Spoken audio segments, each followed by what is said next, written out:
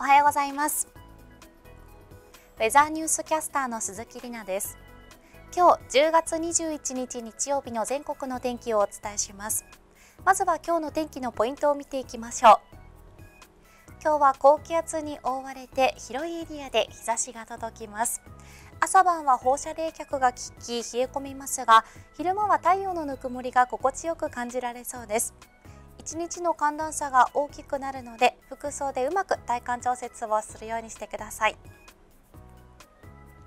北日本は紅葉見頃を迎えているところが多く山間部ではすでに落葉が進んでいるところもあります。紅葉のチャンスを逃さないようにしてください。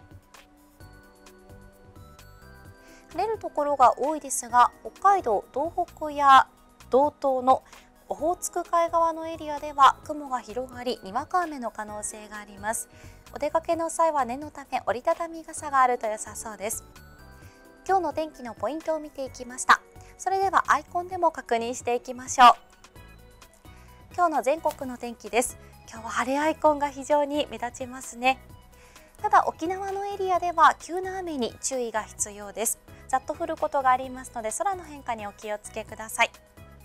また晴れることもありまして朝晩の冷え込みが強まっています。昼間は気温が上がり暑さを感じるところもありそうです。